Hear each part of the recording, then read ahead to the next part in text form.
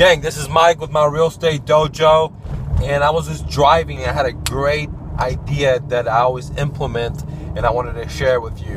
And it's a little neat little trick that allows you to get some extra money when you do deals. Okay, so whenever you're selling traditionally, what I mean by that is that if you've done a fix and flip, or you're a buy and hold guy, now it's time to sell a home, or even if you're a wholesaler um, probably it's not going to work with the wholesaler as much, but if you're a fix and flipper, if you're a buy and hold guy and you want to sell traditionally with the realtor, a little cool trick that I like to do is to get more money is that normally when you get an offer on your home, um, the buyer's realtor will say, "Hey, we'll give you a thousand dollars earnest money, or we'll give you fifteen hundred or five hundred dollars earnest money," and they'll put that down, and that's okay but I have a greater way of doing that. Instead of asking the agent to put down 500 or 1000 bucks or whatever in earnest money, lower your earnest money to maybe 100 bucks and then ask for the option money to be very high. And what I mean on the option money is that when a buyer has a realtor and they use a TREC or traditional real estate contract for every state has their own. In Texas, it's called TREC. When they use that, there's a place there that, that allows the buyer have the option to uh, cancel on the deal. Okay, and so what I do is that I have the realtor tell inform their buyer I want a large option money for them to cancel, and the reason is is very crucial. So I pay attention when the buyer puts money into title company as an escrow, um, let's say 500 or 1000 bucks. If the buyer decides not to do the deal, then what happens is that the buyer's money stays in the escrow, in the title company. And if the buyer does not feel like releasing the information, then you're not going to get that 500 bucks, even though it's your right to get it. For example, so if the buyer decides to walk out and, and not do the deal, they do lose their 500 bucks in earnest money that is an escrow. However, it doesn't guarantee that you're going to get the money. That's the whole point I'm trying to tell you is that if the buyer decides not to sign the release form that's required for the title company, then you're not going to get the money.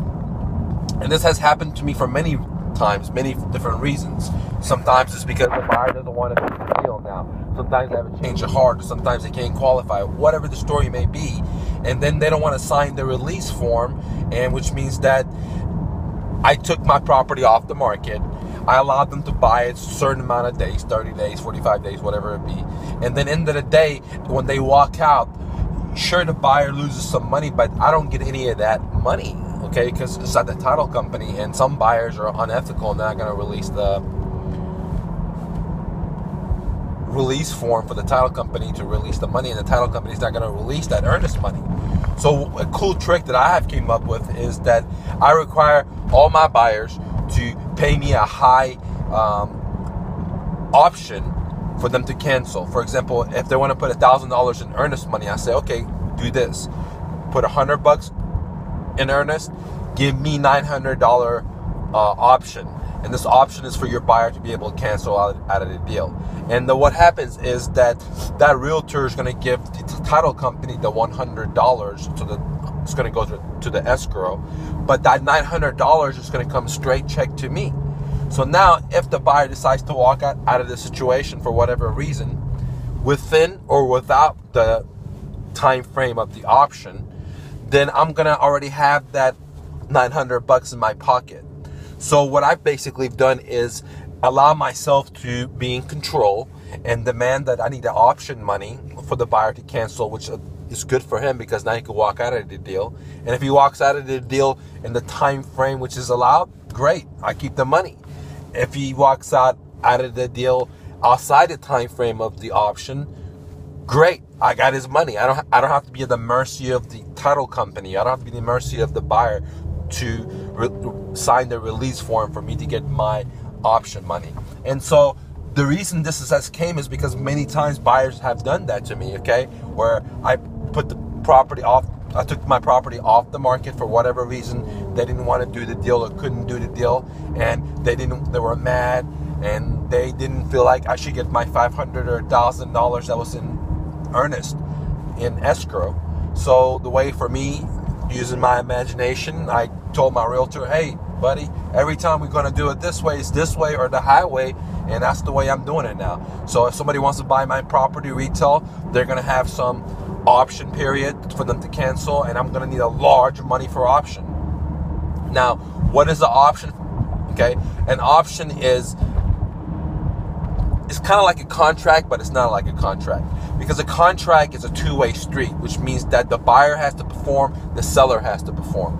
But on an option, the buyer has the right to perform, but they don't have to perform. Okay, so in other words, an option is uh, an agreement that a buyer and seller come together that the buyer may do something in the future, may take this action in the future, but the buyer does not have to take this action. So it's a one way road. Where a contract is a two way road, an option is only a one way road, okay?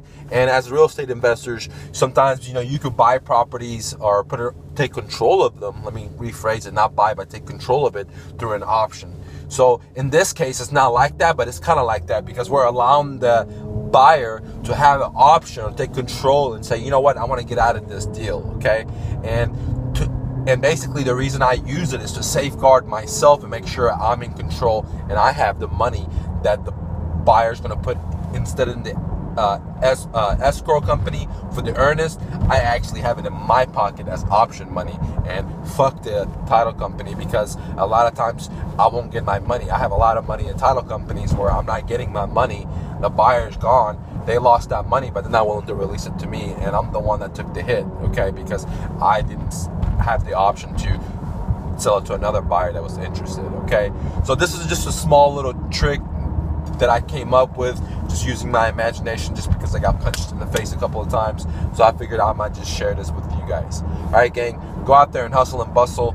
If you like these videos, please like, please comment, please share. And if you really love these videos, if you feel like I'm adding value to you because I'm I'm allowing to download my trade secrets, all the years of my failure, etc., into you, please join the Dojo Club. It's only 500 bucks for the whole year. You get paperwork level one. You also get three hours of uh, one-on-one coaching with me, and I know I could change your life if you're already sold yourself on changing your life. Let me say that again. I know I could change your life if you have already sold yourself on changing your life. I can't create it for you. I can't make you work out, but I can push you if you're really ready to work out. Okay. This is Mike with my real estate dojo. Gang, go out there, make it happen, and don't take no for an answer. Have a great night.